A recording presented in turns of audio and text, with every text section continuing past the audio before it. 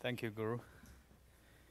Um, when Guru uh, was arranging the order of the uh, the panel, and he asked me uh, to, uh, uh, he grouped Malik and I together to uh, talk from a technology vendor's perspective. So I'm, although I didn't see Malik's slides beforehand, but it turned out it played played out pretty well. So. Uh, while Malik is talking about from a service provider uh, network point of view, what the SDN's impact and transformation will look like. Uh, I will talk primarily focus. Uh, I will be primarily focusing on uh, enterprise networking and uh, the the large cloud environment networking. So with that, I'll quickly cover a few topics in, in the next 10 minutes or so. The first one, I'll talk about what are the drivers from Dell's perspective um, to the uh, uh, SDN movement, and uh, what's our uh, view of long-term view towards SDN. I'll also talk uh, about a few market uh, opportunity examples, and those are from our business vintage point, some are very immediate short-term um, uh, uh, opportunities. Some are long-term directional, uh, directionally market transformation. I'll touch on those, and then I'll, I'll uh, introduce a little bit of what we do now about SDN in terms of the programs. So if we look from a enterprise and, uh, and large data hosting center point of view, uh, the driver behind today's changing of paradigm of networking is, is primarily because this computing model that the network is built to support is fundamentally changing. So it changes from the client server model into this cloud centralized type of model. And the, the, drive, the, the technology driver, drivers behind it, there are multiple of it, but the main one, uh, one of the main ones is the, uh, the, the uh, virtualization. So with the computing model changing from the, the client server model of the last 15 to 20 years into this new cloud type of model, we, we, we see the, the impact on the networking side are very profound and in multiple areas. So first, in the data center environment, we see that the, because of the, the, the arising of the virtual networking from the hypervisor environment, and that triggers the server and the access level uh, layer switching uh, becoming a converged type of uh, infrastructure. And uh, secondly, that triggers a flattened architecture of the aggregation and core network. And uh, then uh, about network services, you can deploy them anywhere at any time in, in the form of virtual machines. That fundamentally changes the data center networking architecture. Now, campus networking, not many people talked about that, the disruption uh, coming uh, yet, but uh, one can easily see the, the unification of a wireless or wireline type of access network. Today, with the uh, wireless network, the from day one, the separation, the the data plane and the control plane are separated. Uh, the, but on the wired side is not the case, and that gives a lot of a challenge to uh, both the user mobility and the workload mobility. So we'll see that the, the, that architecture barrier is soon to be gone.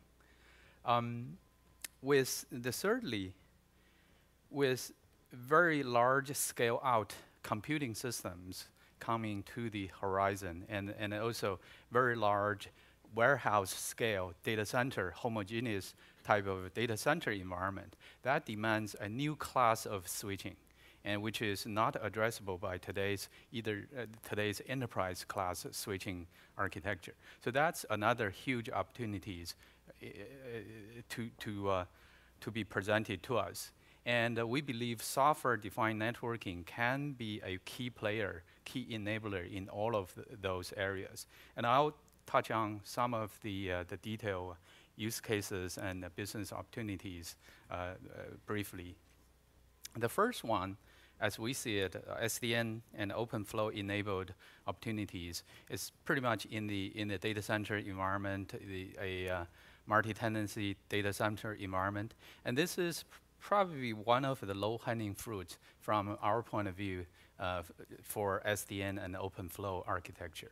And uh, different people have different uh, studies, but to us, we have some internal study and based on customer feedbacks and uh, our internal market uh, research. We saw that a SDN-enabled uh, multi-tenancy data center can reach to say um, 1.6, 1.7 million dollar market. That's just addressable to Dell and, uh, in in about four years. And uh, granted, that's not purely networking. It is infrastructure. It is management, automation, software on top of it. But, but this is just one small use case of SDN OpenFlow enabled. I won't go through the details of why SDN has certain advantages in this space. I think uh, um, throughout the two days uh, conference, uh, the people have touched on many, many aspects of that. So different people look from different angles, but you can pretty much see the, the, the, the reason for the SDN-enabled multi-tenancy data center being simplicity of management, ease of control of network services, um, better security, separation of the dif different uh, tenants, and so on. So, and it can also uh, interoperate with the legacy environment. So uh, switch uh, the uh, the switch out there. So, but this is a very tactical, very very short-term, immediate, low-hanging fruit market opportunity. Just just to relate to the the theme of this panel, but we can see many more and many other uh, more strategic uh, areas, which I actually will pick two to touch on. Um, this one is about enterprise networking, campus networking. Today, as I mentioned a, little bit earlier, that we have very siloed operational procedures to deal with wired network and a wireless network, uh, WLAN I'm specifically referring to. From access control, security, uh, management, and policy QoS perspective, they are totally different. The fundamental reason for that is the, the WLAN side was designed from day one with a separated architecture. A data plane and the controller plane are separated. And it's somewhat like the SDN concept from day one already. The campus networking, the wired campus networking, however, was the legacy of the, the, uh, the data networking from 15, 20 years ago. We built very monolith monolithic access switches that blends the access data access, and the control protocols together. So the, the, the think about a, a, a common policy, security policy, access control policy you want to apply to both sides of the world. It's not that simple. Now, we see the potential of uplifting or elevating the, the control point from the campus data network onto a higher plane, like either a centralized control plane or a, a cloud in cloud unified control plane together with the, the uh, wireless side. And this is a much, much elegant architecture. And it will also triggers a set of a new access, access uh, uh, switching class. So think about APs today at the wireless environment the economics of APs are totally different than access switch, the wired access switch. So we believe there is a huge potential there. How long it will get there, it's probably a long journey, but what I'm painting a picture is that probably five to 10 years from now, you will see the, uh, the campus networking becoming a a new class that's next generation AP-like access class for the wired side as well as for the wireless side, unified by a common control plane up in the cloud or some centralized position. Another example, also directional example, and this one more applied, is more applied to the hyperscale data center environment or extreme scale out compute uh, platforms. Today, with the advance at the silicon level, it's not uncommon to see large scale out systems with, uh, with uh, thousands of CPU cores, a single system. Or in a ver very large warehouse scale data center, cloud based data center, you see hundreds of thousands of CPUs performing a single task or designed in a very disciplined way, in a very hom homogeneous way to support a single or a few well-defined applications. In that environment, the, the communication needs are very, very different than today's enterprise class switching category can support if you look at the, the, the uh, picture on the right-hand side, the middle ground, the, what I call fabric, is a new category that's emerging. Up to now, most of the compute systems or the, the infrastructure is designed that the left-hand side, the servers and the storage, attached storage, interact directly with the network.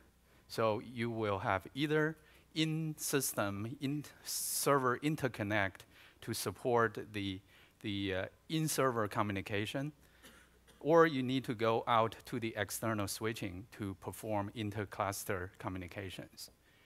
Now, with the emergence of, of this hyperscale environment, you, you see the need of shared but perceptionally local storage say, think of a RDMA type of uh, environment, and, and, as well as no difference from a virtual machine point of view to migrate from one cluster to another, whether you perform that inside the same rack or at another CPU at another rack. So this class, new class of fabric switching in the middle has a different characteristics than today's server interconnect or the external switching. It does demand very low, ultra low latency. It does predict, uh, demand very predictable switching uh, guarantee, non, non-blocking like. Um, but it also have certain aspect of today's uh, uh, uh external switching uh, characteristics. So this is a new class we believe will soon emerge in the next few years.